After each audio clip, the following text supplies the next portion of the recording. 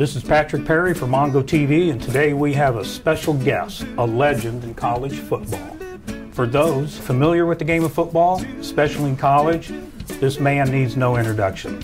For those who aren't, I'd like to introduce one of college's great, Tom Osborne. Well, thank you very much. You're very complimentary. Tom, you're welcome, and thank you for being with us today. Mm-hmm. I'd like to start out and ask aside from coaching the Huskers for 25 years, winning three national championships, you served under Bob Devaney first as an offensive assistant and then later mm-hmm. as the offensive coordinator. And what I'd like to know, what was your experience like working with Bob Devaney? Well, Bob was um, was a great guy to work for. He um, had a good sense of humor and uh, good touch with people. You know, the players liked to play for him. Uh, sometimes he had a temper, but he never never held a grudge, and uh, he always knew when to mix in a little bit of humor if he was upset. And um, so I would probably correct one thing. Uh, when Bob was a coach, we didn't have any titles, so there wasn't. I was never officially the offensive coordinator, but the last two or three years that I was with him, I did call most of the plays from the press box. I did work the quarterbacks, and uh, so I guess um, in in many ways I adopted the role of a, of a coordinator. And we had a guy named Monte Kiffin who later has become fairly well known as a professional coach, defensive coach, who ran the defense. So um, he had good people around him, and but he himself was a great guy. I see you had some experience in the NFL with the San Francisco 49ers and Washington Redskins. And even though it wasn't a long time, how did that experience help you coaching in college football? Well, actually, uh, back up a little bit, I, I, went to Hastings College, which is a relatively small school, and um, had chances to go to some major schools, including the University of Nebraska. But I wanted to play both football and basketball, and everybody said, well, you got to do one or the other at the major college level. So I went to Hastings and um, and had some success there. But I think one that the NFL experience uh, answered at least one question for me that I would would have always had, and that was, well, could I have played at a higher level? And um, so uh, I, I learned a lot in those three years, uh, two years with the 40, actually a year and a half with the 49ers and two years with the Redskins. And um, and I felt it was a, a, good experience. I certainly traveled the country, met a lot of great athletes, and at, at that time, there were only 12 NFL teams, and today there's I think 33, and uh, there were only 38 players on a team at that time, and today it's 53. So you can imagine that the pool was uh, was much smaller, and um, so I, I came into the NFL as a quarterback out of Hastings College but the, uh, the head coach at the 49ers, a guy named Red Hickey. And Red called me in the first day and he said, Well, we only got two, two quarterback spots open, and we have John Brodie and we have Y.A. Tittle, and uh, we're only going to keep two. And if you can beat out one of those guys, we'll go ahead. So I could tell that he was kind of politely telling me I better change spots. So I became a receiver that day, and something I had never done before, but uh, made the transition and um, so I hung on for three years and then eventually had a hamstring injury that was bad enough I couldn't play anymore. But that was, a, in a way, a good thing because I came back to University of Nebraska, went to graduate school, and, uh, and eventually kind of slid into coaching. I didn't plan to be a coach, mm. but as time went on, I um, found that the appeal of athletics just never left me, and so I ended up spending most of my life in, in athletics. It's a good thing you did. Well, I, I I hope so. I, I, think it worked out well for me. It did. I think it worked out for the whole state. Mm-hmm. Yeah. Uh, you were pretty well known, you know, with the I back. I was wondering, mm-hmm. how did you come up with that or get familiar with it? And why was it so successful at Nebraska?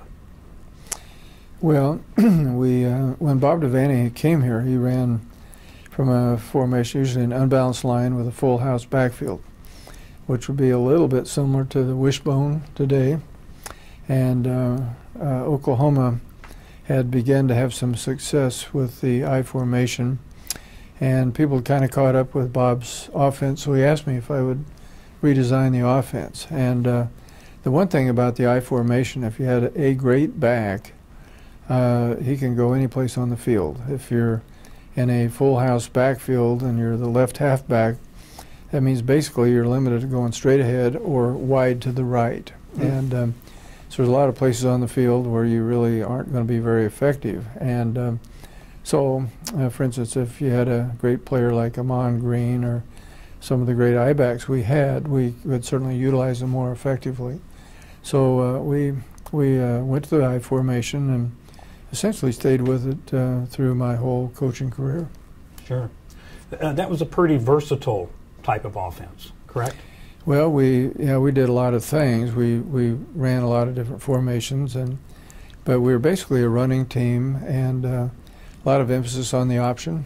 Sure. Uh, and you see a lot of that today on the zone read, where essentially you're there's one player that you're not blocking, and the quarterback uh, finesses that guy either uh, the, the guy comes and takes the back, and you pull the ball and run it as a quarterback, or if the if the defensive end hangs out there and he's ready to play the quarterback, you hand it off. And so there's one person that is unblocked, and that's true of option football. There's uh, mm-hmm. one person that you're either going to keep the ball or you're going to pitch it and uh, finesse that guy.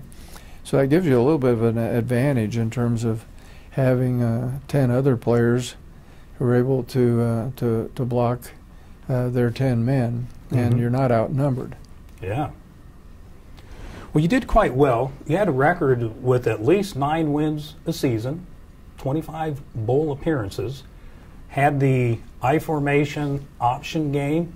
What would you credit as the, let's say, the number one reason Nebraska was that successful?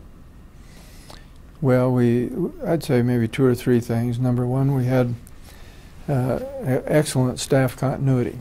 Our coaches uh, seemed to like it here. They stayed around. So uh, the average college coach, that would be an assistant, only stays in one place about three years. So that means that if you have nine assistants, you're uh, replacing one third of your staff every year. Mm. And um, I would say that we probably had one assistant coach leave every two or three years. So we had tremendous stability and continuity, which was very helpful.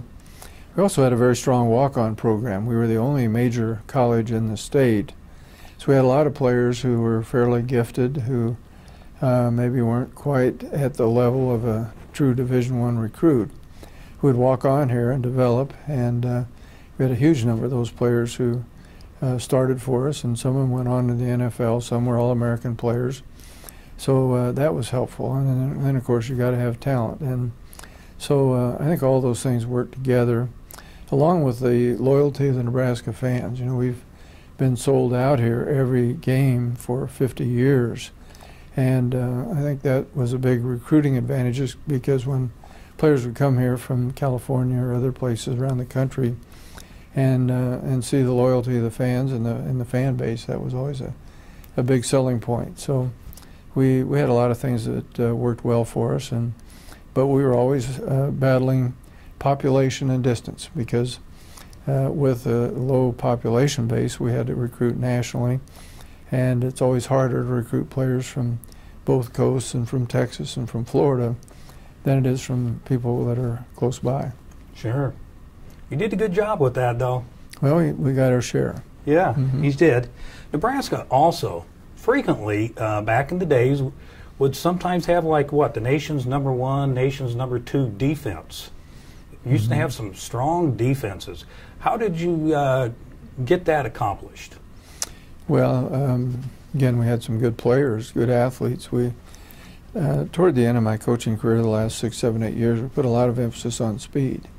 So we had a lot of guys that were playing linebacker that would, in most systems, would have been defensive backs that could run 10, 500 meters, and that was helpful. And then we had uh, our defensive coordinator for most of that time was a guy named Charlie McBride. Sure. And uh, had defensive uh, coaches that were here a long time, and uh, and that was helpful because sometimes you'd get something thrown at you in a ball game that you, that was a little bit unexpected. You hadn't practiced on it all week, but you could go back and remember, well, this is what we did three years ago when we saw this, and so that continuity, that institutional knowledge, was always very helpful. Sure. Yeah, Charlie was a good one. He was. Yeah, very good. Tom, if you don't mind, tell me just briefly a little about your personal values and how you applied them to coaching.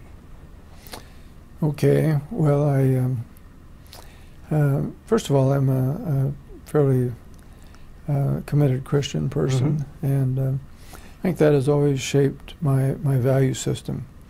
So uh, uh, we put a lot of emphasis here on integrity.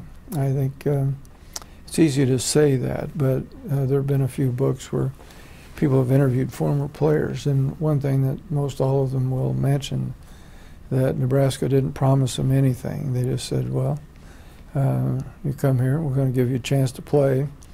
Uh, certainly, there were no illegal inducements, but on, on, top of that, there were no promises of playing time. You know, it's so often so easy to tell a player, "Well, you come here, you'll start as a freshman, or you're not going to have any competition." But they um, uh, they seemed to feel that we were we leveled with them. Mm-hmm. We told them who we had here, who we were recruiting, and uh, never made it appear to be quicker and easier than it was going to be.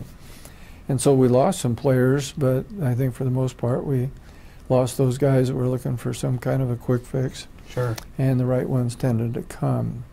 So I think integrity was important. I think loyalty was important. We uh, expected people to uh, not talk behind each other's backs, and that led to pretty good team chemistry Sure.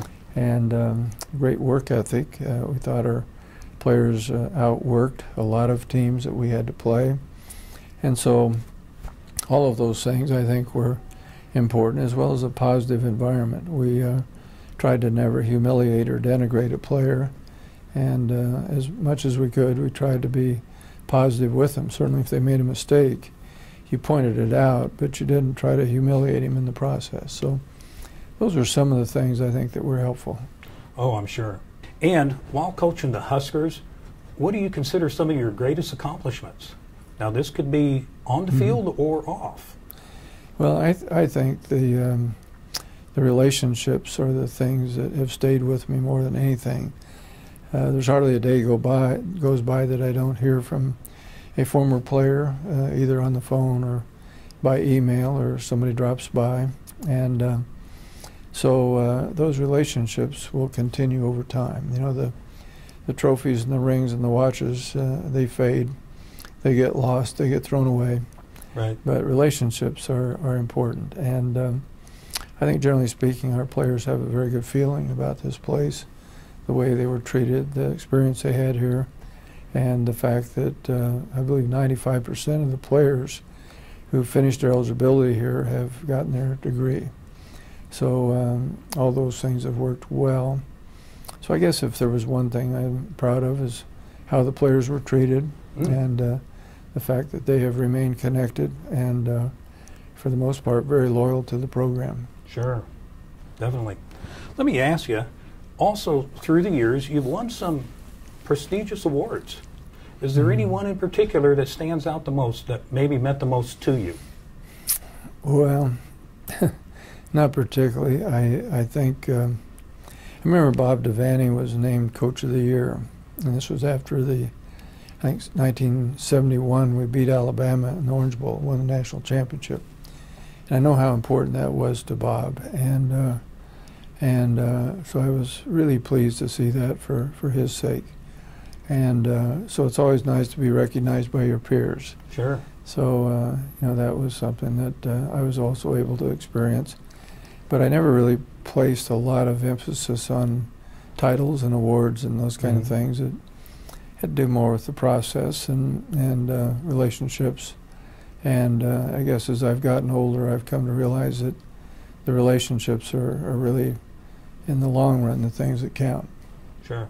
Yeah, I, I agree with you. I think the intangibles are really Mhm. the most important. Mm-hmm. Next, next thing I want to ask is still somewhat along those lines, and we'll move on to a few other questions.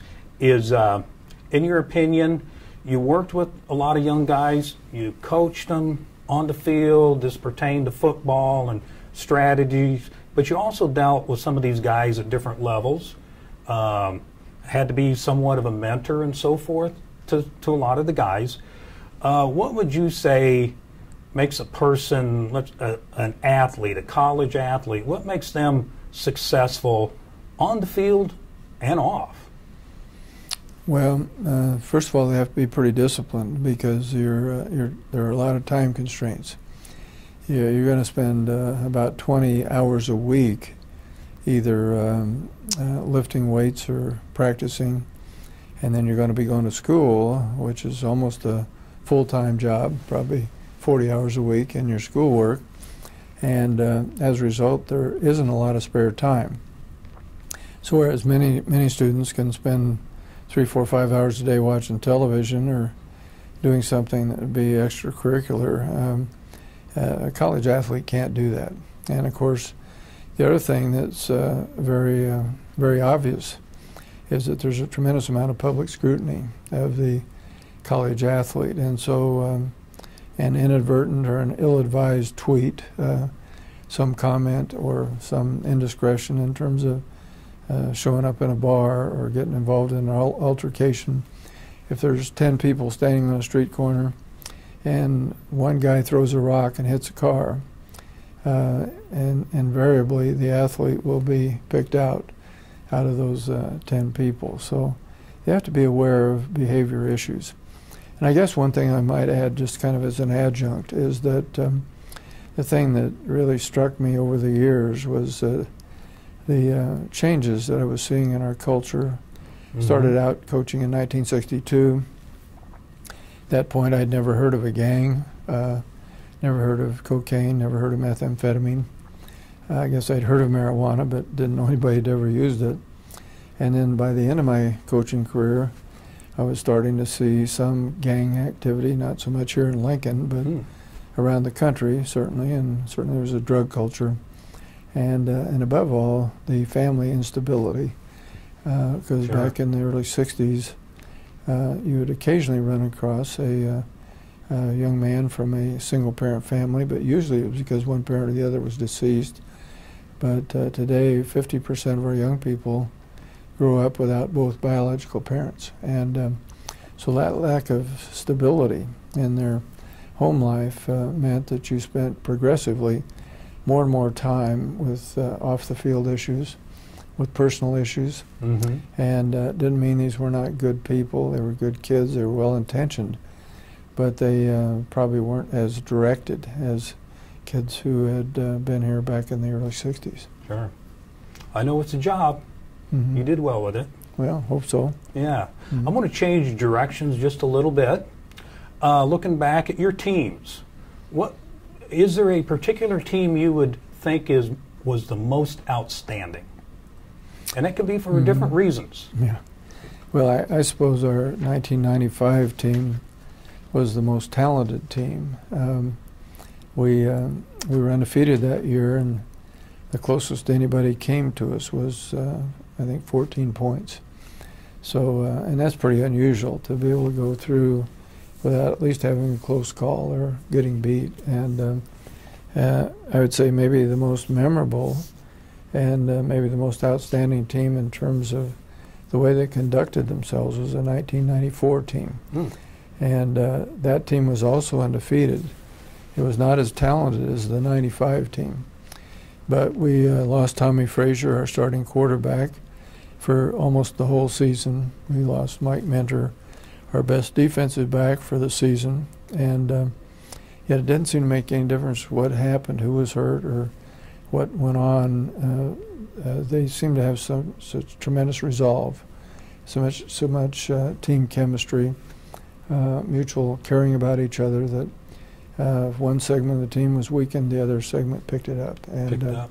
so probably from a, a, team aspect and a team chemistry aspect, that was probably the most memorable team. Um, with Nebraska moving into the Big Ten now. Mm-hmm how do you think they'll perform in the long run? Well, I think we'll do very well. The um, one thing that is better, you know, compared to the Big 12, in the Big 12 we had a North-South league, so a lot of our sports, uh, not so much football, but golf, tennis, um, baseball, softball, the southern schools had quite an advantage in terms of weather. And Uh, obviously, if you're somebody who has aspirations beyond college and you play one of those sports, you're apt to. It's much easier to recruit if you're from Texas or Baylor or A and M or even Oklahoma than a school like Nebraska where you're going to get a fair amount of snowfall. So we now have um, more of a level playing field in terms of weather. Everybody's got the same problems. The only thing that will be a major obstacle to us is population density. Mm. Ohio, obviously, uh, where Ohio State is, uh, they have a lot of a lot more people. Therefore, they have a lot more players. Michigan, um, uh, so most of the schools, most of the states are more populated than Nebraska. Sure. So we have to have great facilities. We have to have highly motivated coaches. We have to do everything uh, uh, at a pretty high level in order to be competitive. But I think we can be very competitive here. Oh, that's good to hear. Yeah. I like hearing that. Uh, since retiring from coaching, do you ever miss it? Uh, first couple years were really hard. I um, I did miss it, and I did have a chance to uh, go to Michigan State and was very tempted, and uh, was thinking about it. Hmm. And uh, my grandson called me. I think he was five years old at the at the time, and he was crying and said he'd heard that I might be leaving, and he didn't want that to happen. He said that'd be a big mistake.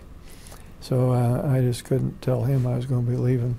And also, you know, having been here at Nebraska for 36 years, it would have been really strange for me to go coach some some uh, team that was dressed in green. Yeah. So I, I just couldn't do it. So, um, but as time has gone on, I've gotten more, a little bit more uh, philosophical, a little bit more detached, and uh, so it's not as hard. It's still sometimes difficult to go watch a game and realize that you have no control. You know, Mhm. you're, you're you're just sitting there like every other fan, and there's nothing that you can do to make a decision that might might change things. But overall, it's it's been good.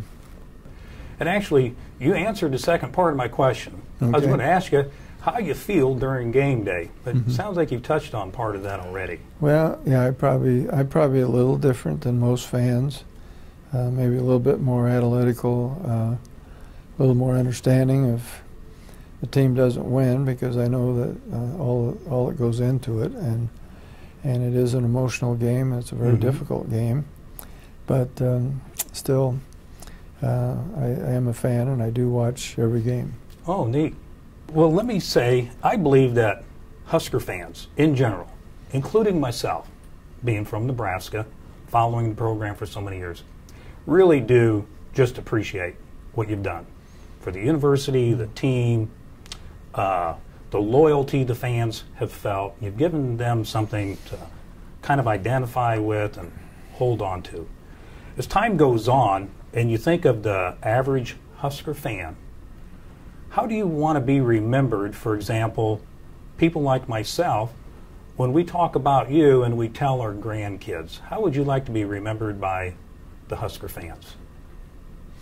Well, I, I, I guess I would hope that they would uh, feel that I, I did the best I could for the uh, school, athletic department, and the state. Um, it's kind of strange here in Nebraska, but uh, Nebraska athletics, Nebraska football, seems to be a very strong unifying element. And so, whether you're in Scottsbluff, clear in the western part of the state, or Omaha or Lincoln, uh, one common topic that most people seem to have in common is uh, is Nebraska athletics, particularly Nebraska football. And uh, so the reason I came back here as athletic director five years ago was that um, there were some divisions, uh, things probably weren't as good as they could have been, and uh, I thought, well, if I could if I could help uh, restore a certain sense of unity, that that would be a good thing be good for the state. Sure. And uh, so uh, Nebraska is unique in that we have only the one major university in the state, whereas most places have at least two or three. And um, it does seem that uh, people are very, very loyal and almost fanatical about Nebraska athletics. And uh, sometimes that's a little uncomfortable because there's a lot of a lot of scrutiny and a lot of heat. But on the other hand, it certainly beats apathy. And we don't have that here. and uh, and those 50 years of sellouts is a, is a pretty much of a testimony to the fact that we have uh, tremendously dedicated fans. So we have great fans. They're knowledgeable. Uh, they treat repo- opponents with respect.